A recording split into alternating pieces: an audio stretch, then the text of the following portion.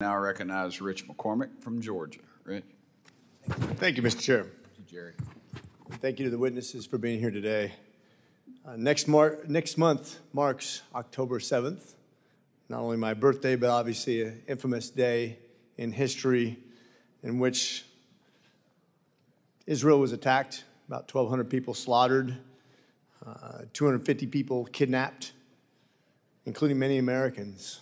Uh, this attack, in my opinion, was made a reality by Iran in support of evil people. Uh, we've seen them support Hamas, Hezbollah, the Houthis, Russia, China, pretty much every enemy we have, they've supported openly. They've created this unholy axis, which they, as a small country with a very small GDP, has become literally a purveyor of hate and death around the world now. Uh, Ms. Fontenrose, it doesn't make the front news anymore, but we've uh, to have attacks in the Persian Gulf, uh, mainly from the Houthis. Uh, we've seen ships attacked. We've seen a couple of them recently attacked in September, earlier this month. And then September 9th, we shot down another drone. Uh, we know that they have these capabilities only because of Iran. The question is, how do we cut off the flow of these weapons from Iran that are going to our enemies, especially the Houthis, particularly in this instance.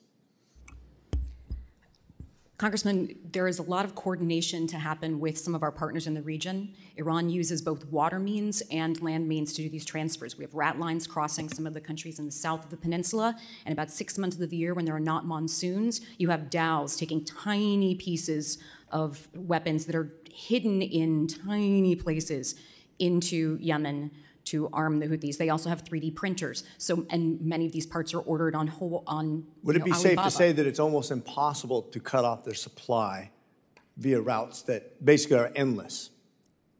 Cutting off the supply of much of this material would be very difficult. Yes, you would. I agree with you. So you, it's better to aim for bigger targets.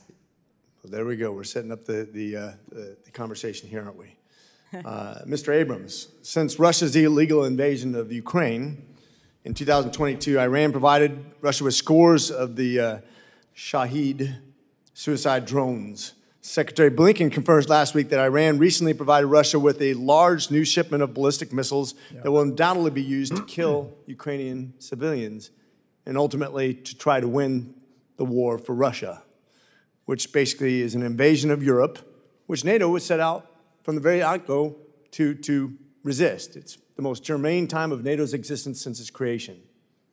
So we're at essentially war with an invading, expansionist, tyrannical government into Europe that we formed an alliance to resist.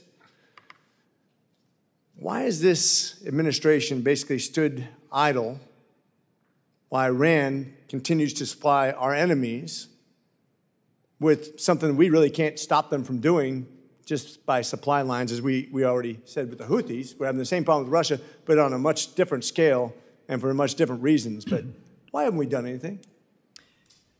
I think that we should be doing much more enforcement of sanctions. Uh, the administration says we don't want confrontation and we don't want escalation. I would actually rather that Iran didn't want escalation or confrontation. Bingo. Out of fear of us. So, so you served in Reagan's administration, did you not? Yes. I'm jealous, by the way. Reagan, I mean, come on. This guy is the guy for me. What do you think Reagan would have done, given his history with nations who are probably troublesome, but not even as troublesome as Iran? What, what kind of response do you think he would have given?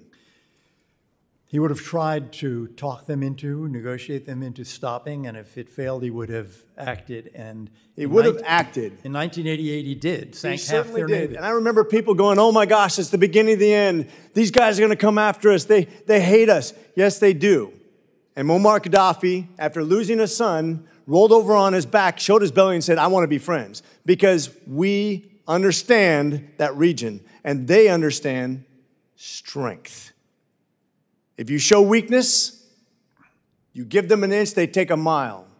And thank you for servicing, being of service to such a great president, such a strong president. I saw it during Reagan's administration. I saw it during Trump's administration. When you break out the Moab, the mother of all bombs. When you hit somebody in the jaw that's a bad person, they roll over and they say, I don't want any more of this. And this is the time to act, in my opinion, before they become a nuclear power. Are we waiting for Iran to become a nuclear power before we do something? And then, of course, we won't because we'll be scared to. This is the time to act. Weakness has created war. Weakness creates death. Weakness creates a propagation of this hatred and these propped up enemies that we have. And I think we should hit Iran hard. I, it really disappoints me the Biden administration has been absolutely inept, weak, and ineffective. With that, I yield. Thank you.